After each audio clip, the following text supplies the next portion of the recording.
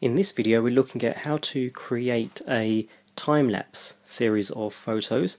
We're going to be concentrating on the GoPro Hero 2 that I have here, um, although you can use many other cameras to create some time-lapse photos and then uh, we'll look at editing and creating the actual time-lapse using iMovie.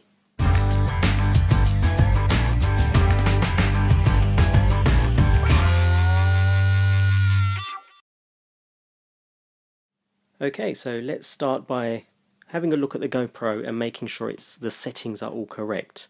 So you want to switch on the GoPro. Once it's switched on, you can see there that mine goes straight into uh, video mode. If I just focus the camera there, there we go. It's going straight into the video mode, which you could see by the uh, the icon in the top corner. I've also got the LCD backpack installed here so we're going to change it. We'll just go into the settings here. There we go. And once we're in the settings, we're going to come across to there we go. So if we select this, this is the icon for your time lapse so if we select this, we can see that we can set the time lapse at 0.5 seconds, 1 second, 2 seconds, 5 seconds, 10 seconds, 30 and 60 seconds. Um, this is how the, the amount of time it will take to take the next image. So if I go back to, I'm going to set 2 seconds. Um, the longer your time lapse, obviously the longer you want to uh, set your time, shorter your time lapse, it's better to uh, keep the number of seconds short. So I'm going to keep mine at 2 seconds here. So I'll select 2 seconds and then we're going to exit. There we go. Now we want to go through our modes that you can see the top corner and we want to make sure it's in this mode. So as you can see the top corner here, there's a camera with a little timer icon. If you don't have the LCD, you'll see at the front here, the top corner, the camera with the little timer icon, and you'll see two seconds, which means uh, it will take two seconds between each photo. Now, as you can see, the battery power is at the bottom, and it's going to be taking the photos at 11 megapixel, which you can also see on the screen. Right, so I'm going to go away now and uh, take some images in a time-lapse fashion and then we'll come back and uh, have a look at editing this and creating our actual time-lapse movie. Okay, so now we move across to our Mac. Um, I've recorded a short time-lapse of uh, some in-car footage, nothing exciting, but uh, it should be enough for this tutorial here.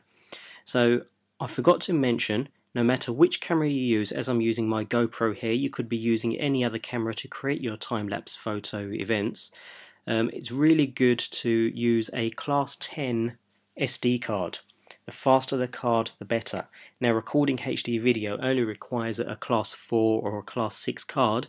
It's always good to have a faster card for time-lapse because you're looking at 11 meg megapixel, around 5 to 6 megabyte images being taken every two seconds or possibly less. So the faster card you have, the better.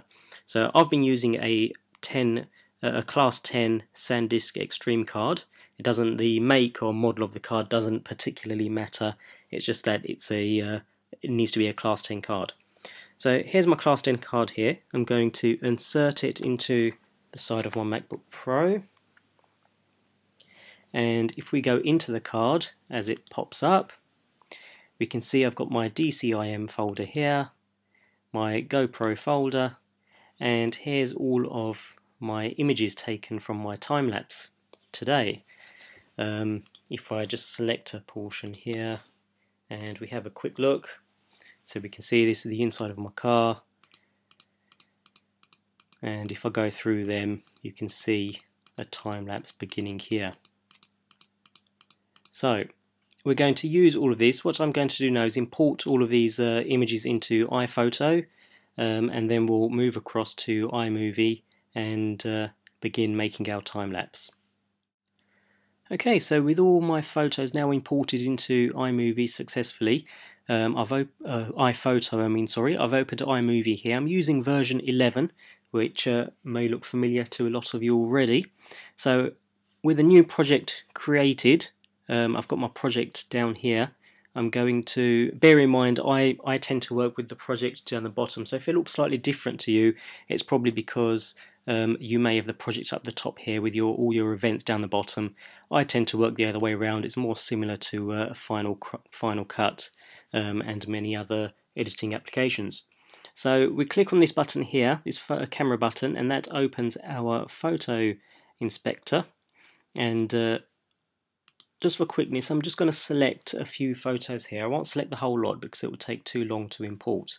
So uh, if I select a few photos here, we simply drag them into our project and it imports the photos into the project. Now there's a few bits and pieces we need to do once the uh, photos have all been imported and we'll go over them um, in less than a minute. We're almost there. So it, as the photos come into the project, it will add some effects in automatically. So, and we're not really after any of these special effects. As the photos come in, you'll see the check marks next to the, pho the photos down here, and that just means that the photos are being used in the current project.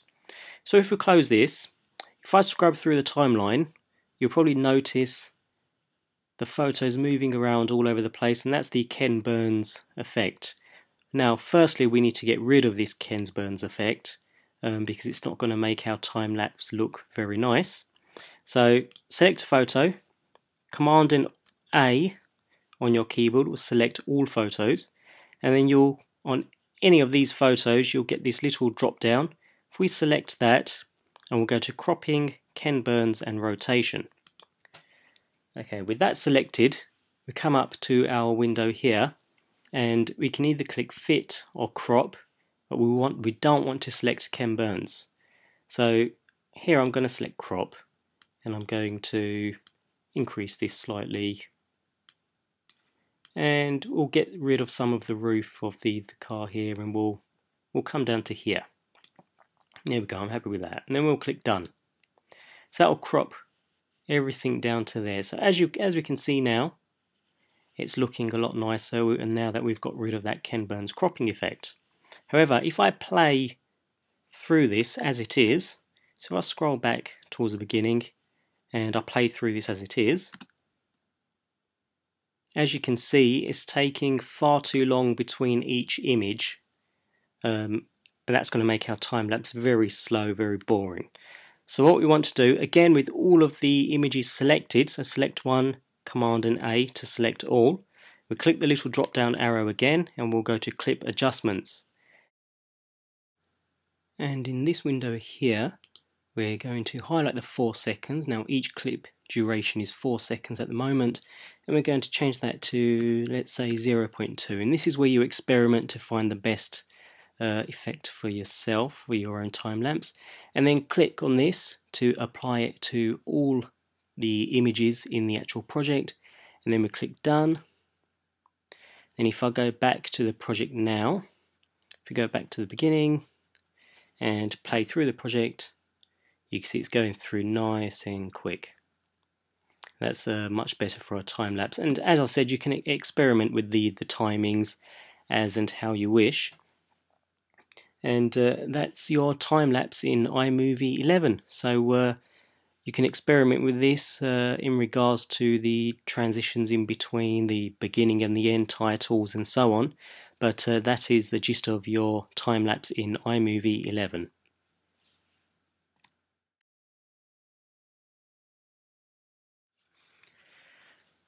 Okay, so and another way to actually create a time lapse, if you don't want to go through the hassle of going through iMovie, um, removing the Ken Burns effect, uh, the timing between all the photos and so on. So everything we've just done, basically, there is a small app called Time Lapse Assembler, as you can see here.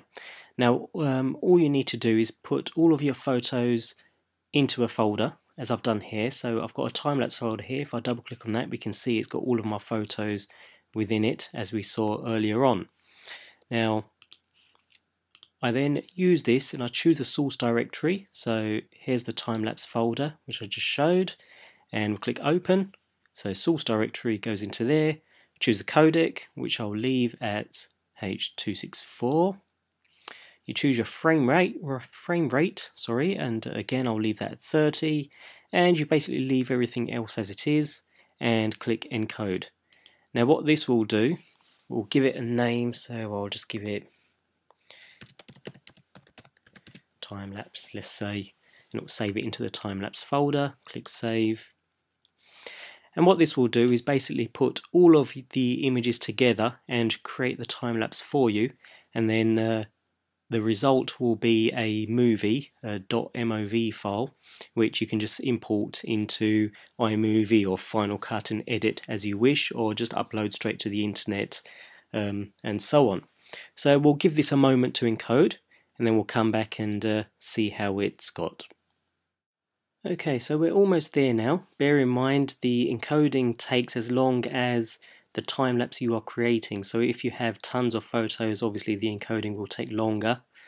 Um, also, bear in mind that this is a free application. You can easily download from the internet completely free.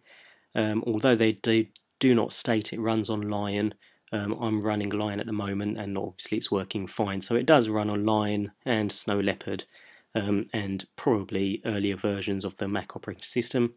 So we've finished here. So if we now quit Time-Lapse Assembler and we'll open the folder where we created the movie, scroll down to the bottom, and here we go. So it's created our time-lapse movie here. So if I take a quick look at that, there we go. So as you can see, it's uh, created the time-lapse movie. That's probably slightly uh, faster than I would have wanted it, but uh, for long movies that's uh, perfectly fine. And you can now use this and import it into iMovie or any other editing application perfectly fine and edit as usual. So uh, a nice quick way of creating your time-lapse movies, excellent quick way of doing it. So that was time-lapse assembler for the Mac. So I hope you found this uh, video useful in creating time lapses. That's two different ways you create your time lapse there on the Mac operating system. So uh, get out there, get creating some time lapses and uh, get creative.